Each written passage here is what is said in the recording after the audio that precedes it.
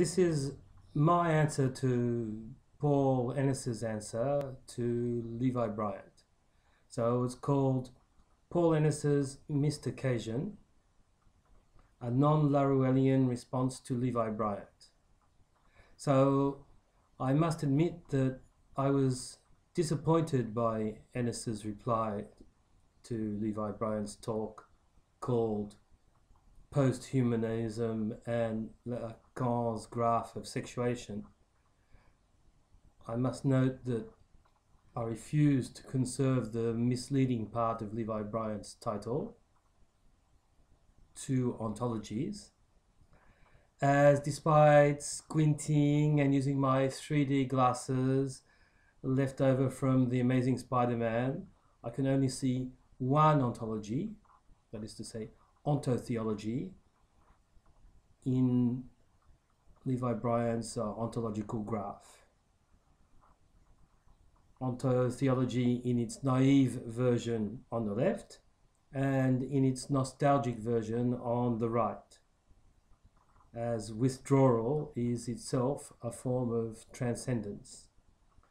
I was very shocked by this talk right from the beginning. Levi Bryant begins by claiming that it is at first sight surprising to link Lacan with posthumanism and justifies this with a quotation from Lacan. Quote, the universe is the flower of rhetoric, unquote. Which looks like a correlationist or even a linguistic idealist thesis. Now, as to the purported initial surprisingness of juxtaposing Lacan and posthumanism, this itself is rather surprising, coming from a Lacanian who proclaims loudly that he is very familiar with the tradition of ideological critique. The connection between Lacan and Althusser and structuralist anti-humanism is precisely what leaps to mind uh, almost instantly. Althusser's essay on Freud and Lacan was published in the 1960s, as was its translation into English, and the Althusserians were an important vector of the promulgation of Lacanian theory. Anti-humanism is one of the strands that now compose post-humanism, so the leap is in fact minuscule. Secondly, the statement, the universe is the flower of rhetoric, is an anti-humanist statement affirming the agency of the signifier and dethroning human agency. This is a conceptual statement and cannot be refuted by what I call Harmanian hand waving of the style, quote, that gives agency to language, and language is made by humans, so it's humanist and correlationist, unquote. When I say quote, it's a made up quote that corresponds to uh, basic uh, pre-conscious uh, commentary to the sorts of arguments that we hear or read often coming from o- o- Oxians. Anyhow, the OO style of argument is to bet on historical ignorance and for the rest to take philosophical statements out of their theoretical context, efface the conceptual meaning, and retain only the common sense exception of words and then englobe it in a big bogus category like correlationism, which can be made to include any position at all, including Harman's and Bryant's, as Alexander Galloway has shown on uh, the blog uh, An und für uh, on the 3rd of June uh, 2012.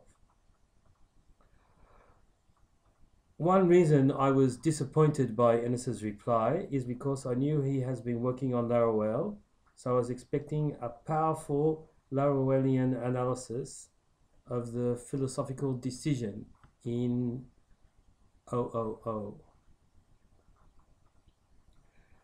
Oh, object-oriented ontology seems a perfect example of Laruelle's general analysis. A selection is made in the given of a datum, here objects, that is then elevated to, a, to the status of a condition of the given. Objects that are present in the immanence of the given are selected out as the transcendent condition of the given, and this transcendental gesture imposes a disjuncture in the immanent field between these new transcendent real objects and the merely uh, empirical sensual objects that were the original field from which the real ones were selected out. The distinction between the real objects and sensual objects is both intrinsic to their immanent difference and an extrinsic transcendent distinction that constitutes this difference. The various strategies to conjoin causality and illusion in Harman's case, to conjoin what has thus been disjoined via withdrawal, constitute the dubious charm of object-oriented ontology. But Paul Ennis, who was perfectly capable of giving such an analysis, did not take that path. And we have unfortunately been deprived of the details and unforeseen twists and turns that he could certainly have furnished to surprise and delight us. Paul Ennis's response to Levi Bryant did not take this manic Laruellian path, but instead took a more nostalgic turn, where OOO is a form of nostalgic return to ontotheology via its watered down version of transcendence called withdrawal. Ennis looks affectionately back at anti realism obscurely sensing that despite uh, Oaksian propaganda based on the bogus concept of correlationism, anti realism may still have uh, some things to teach us. I wish to remark that correlationism is a bogus concept that trades on a confusion between a narrow conceptual sense that would best be designated idealism or post Kantianism, and an extended notional sense that can cover anything and everything.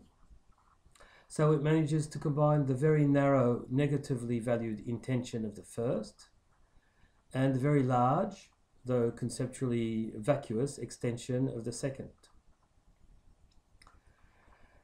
Ennis solemnly accepts at face value Bryant's 2D projection of a 3D diagram, which I would have liked to have seen inserted in Prometheus as a mystifying explanation of why the engineers hate us, the de-withdrawal of God enacted in the resurrection of the engineer, leading to the death of man. he goes so far as to praise it for its encapsulation of the recent trend that, quote, has seen us move away from philosophies of transcendence towards those favoring immanence. There is no apparent irony as he contemplates a Lacanian who, in the first five minutes of his talk, manages to falsify the historical record of the anti humanist inspiration, Heidegger, and reception, Althusser, of Lacan, and to travesty his thought as a correlationist humanist shell that nevertheless, in its most ridiculous content, the graph of sexuation, prefigured after the event, the Deleuze event, the move towards not immanence itself, and here Ennis's suave and subtle style begins to show its acerated teeth, but towards favouring immanence. Whom the gods would destroy, they first uh, do favour. And Bryant favours Deleuze with his Lacanian backstabbing. He favours immanence with his Harmanian withdrawal, a word that he now wishes to relinquish, withdrawing from withdrawal. I say that Lacan's graph of sexuation prefigures Deleuze and Guattari's ideas after the event because it was first expounded in his seminar in 1973 and represented a very weak and watered down appropriation of insights that Deleuze and Guattari had elaborated over the preceding four years, precisely to critique Lacan. Guattari tells us When I was put in touch with Deleuze in 1969, I grabbed the opportunity. I progressed in my contestation of Lacanism on two points Oedipal triangulation and the reductionism of his doctrine of the signifier machine and structure, uh, crucial uh, conference uh, according to both uh, Guattari and Deleuze, was given also in 1969 using the concept of the machine to break through the purported omnipresence of the signifier. So we have in 1969 the abandonment of Freudian psychoanalysis and its Lacanian variant, the critique of Oedipal triangulation, the definite exit from a preoccupation with discursive formations, and the transition from the hegemony of the signifier to a machine ontology. There is no synthesis of Lacan and Deleuze and Guattari, but a conceptual revolution, a radical paradigm change, an incommensurable leap. Bryant's paper ignores all this, falsifies the historical record, and quietly tries to annex Deleuzian and Guattarian insights into a paradigm whose fundaments they rejected. This strategy of tacit annexation and adulteration was one of Lacan's preferred modes of erudition and creativity. Levi Bryant even claims that Lacan was the first anti Oedipus because in his system, men don't have the phallus and the place of the sovereign can never be occupied. But such language retains the language of the psychoanalyst priest and his vision of anarchy as somehow the negation of the negation as that which does not fall under the function of castration. Bryant involuntarily confirms my thesis that there is no synthesis of uh, Lacan and Deleuze and Guattari, and that all attempts at such a synthesis void Deleuze and Guattari of their conceptual singularity and amount to a curious neo-Lacanian hodgepodge masquerading in Deleuzian vocabularies the idea that Lacan's graph really kids. There's arrows and quantifiers and even a dummy function that can stand in for virtually anything castration, language, or even withdrawal, as is claimed by Levi Bryant in The Democracy of Objects, page 265. The idea that this graph of sexuation expresses anything interesting about ontologies of immanence is ludicrous. Bryant's ontology may be an ontology of immanence. I'm willing to reserve judgment on that. However, Graham Harman's object oriented ontology is certainly not one of immanence, but of a totally anemic transcendence, as we shall see. Besides, even Deleuze and Guattari always maintained that immanence is not enough, and that it must be associated with positivity and abundance. This is their Nietzschean engagement. The graph of annexation, as interpreted by Bryant, contains the statement that not all x's are subject to the language function.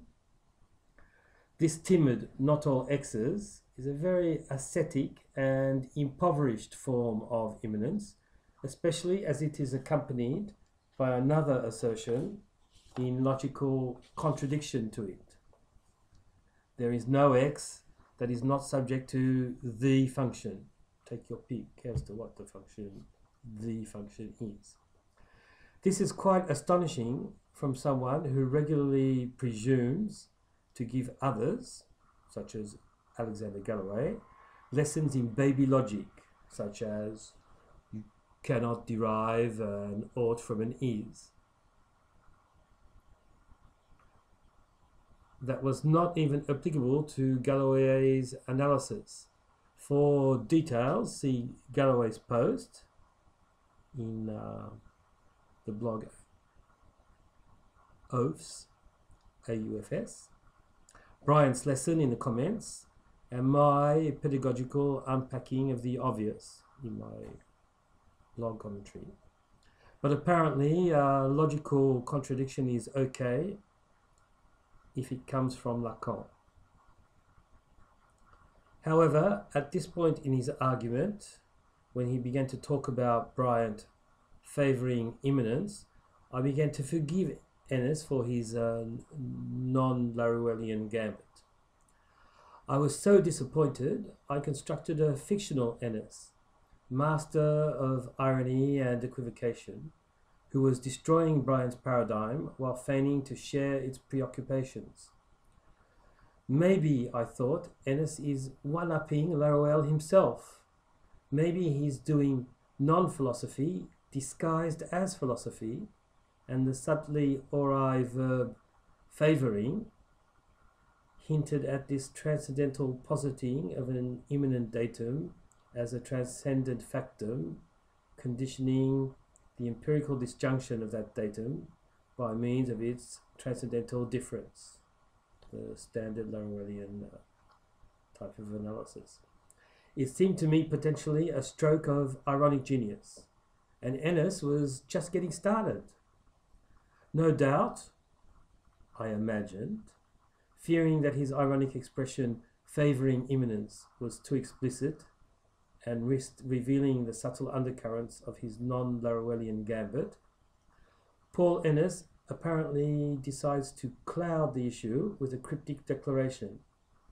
He affirms transcendence has a way of generating and sustaining knots. Unquote. True, he goes on to explain this crypticism with some misdirection about anti realism aiming to ground knowledge and ending up regretfully, but to whose regret? He doesn't say and remains veiled in ambiguity. So, anti realism aiming to ground knowledge and ending up regretfully ungrounding it. Strange conception of anti realism. But coming straight after a twisted praise of one of Lacan's graphs, this phrase seems to refer maliciously to Lacan's late obsession with knots, thus implying that Lacan remained totally on the side of transcendence and that even his mathematical accoutrements of graphs, mathemes, and knots, far from undermining his intrinsic transcendent position, reinforced and accomplished uh, this transcendence. Once again, Ennis seemed to insinuate, insinuate this with a single word, knots, as before he did with favouring, the choice of which could appear to be an innocent gaffe, a mere slip of the tongue, I imagine the audience becoming uh, restless, feeling an obscure tension unconsciously that consciously they discount. Ennis continues to soothe us by rattling off various false stereotypes about anti-realism's aporias, and even cites the epistemologically and semantically unsound Meillassoux as an authority on the failure of anti realism to ground the sciences. this is as far as Ennis gets with um, reliable authorities. When in fact the major achievement of anti realism was to persuade everyone, including the realists, that such grounding was impossible, unnecessary, and undesirable. Ennis does not even mention Bachelard, Serres, Deleuze, Lyotard, Derrida, Laruelle, nor does he cite Popper, Quine, Kuhn, Lakatos, Feyerabend, Latour. He lulls his audience with very vague references to post Kantian anti realists, the very repetition of this word suggesting subliminally that the real world of intellectual struggle is far off.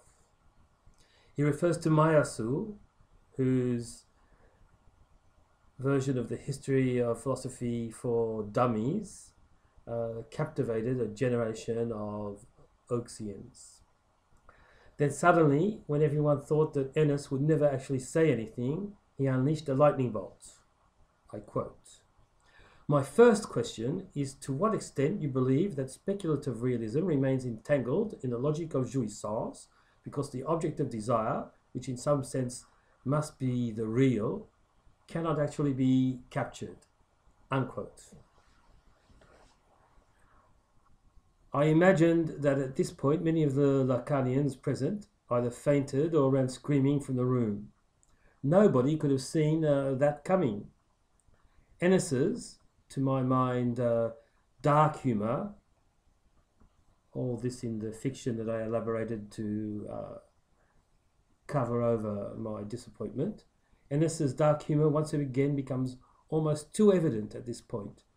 He unshamefacedly accuses the bad guys, the post Kantian anti realists, using terminology that in fact applies to the Oxians, of somewhat perversely chasing noumenal ghosts and deriving enjoyment precisely from the fact that they know that they will never catch them. And this generates an all too comfortable space to retreat to. Now, he accuses the post Kantian anti realists of this horrible syndrome, but it turns out that it is a direct transposition of Harman's position in the third table, where he says, and I quote, we can only be hunters of objects and must even be non lethal hunters since objects can never be caught. The world is filled primarily with ghostly objects withdrawing from all human and inhuman access. End of quote. That's on page 12 of the third table by Graham.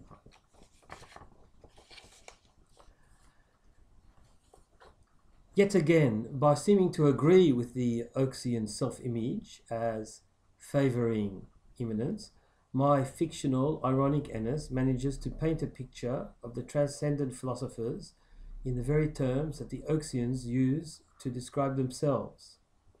The courage and the finesse necessary to bring off such a maneuver left me flabbergasted.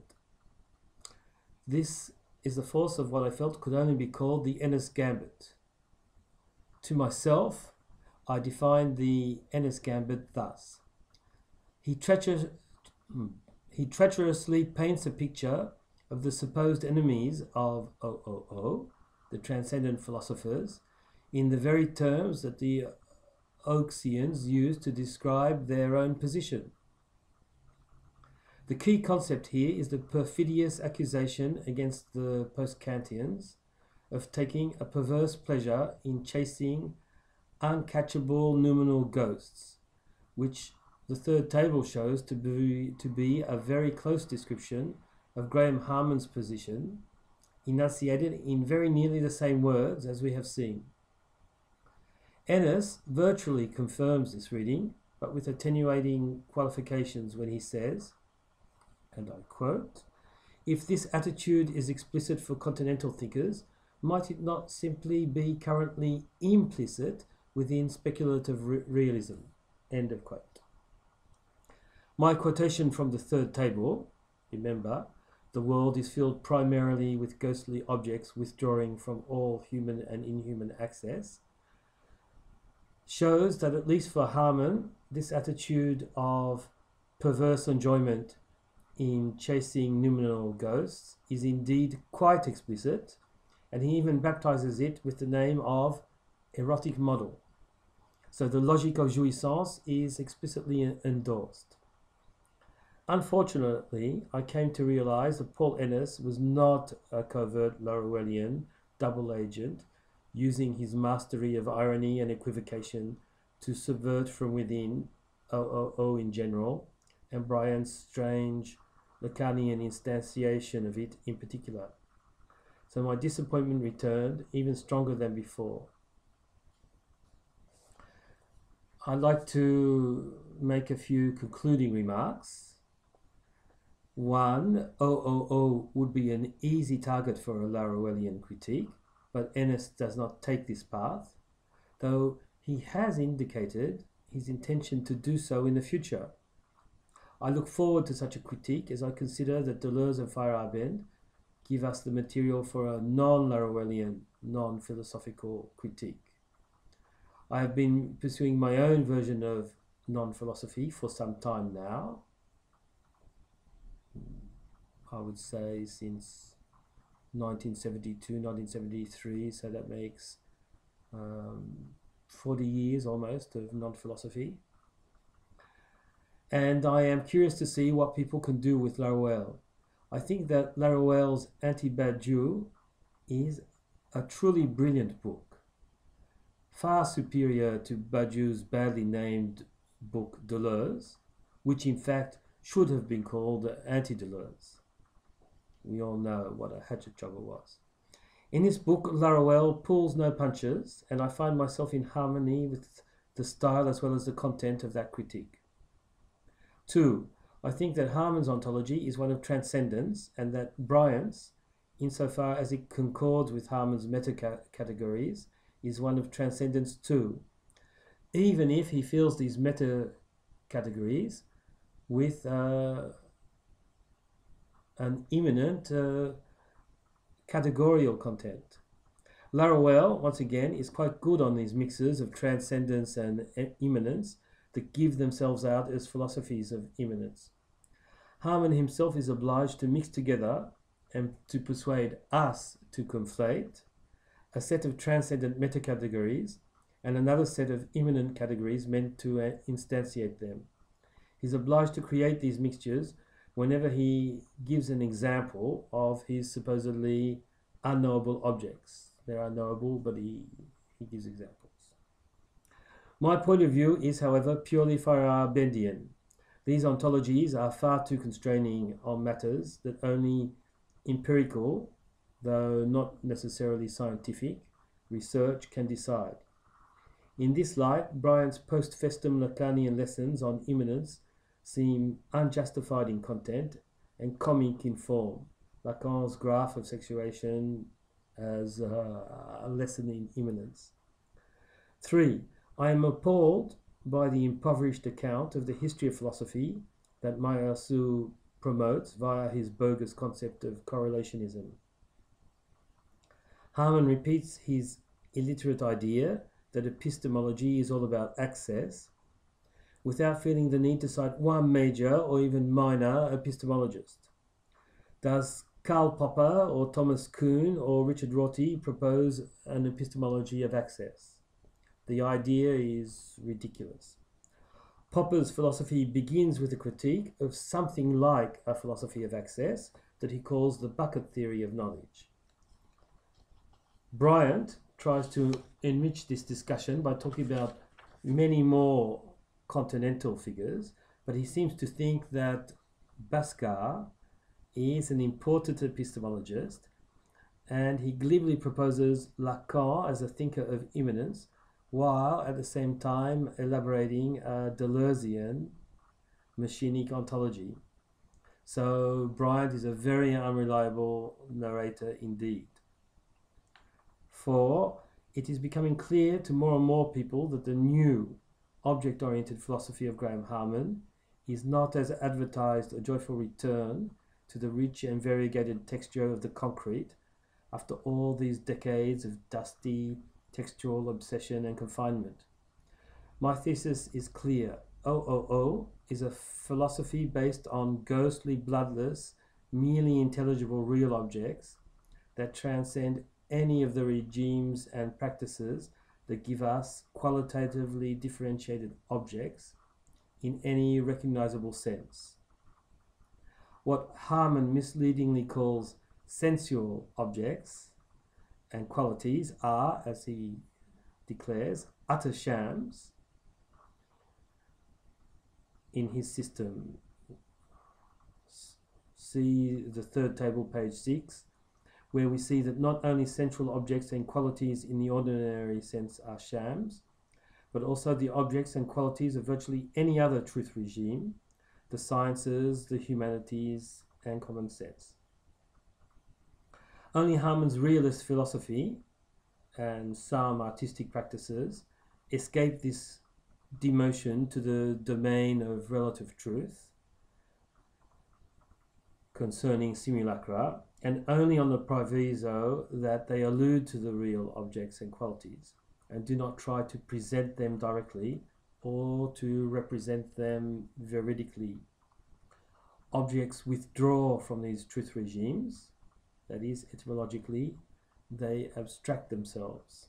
Real objects are abstractions, indeed, they are abstraction itself. This is not a revolutionary new weird realism. This is regressive transcendent realism, cynically pa- packaged as its opposite. 5. Contrary to what Levi Bryant claims, withdrawal has nothing to do with non totalization.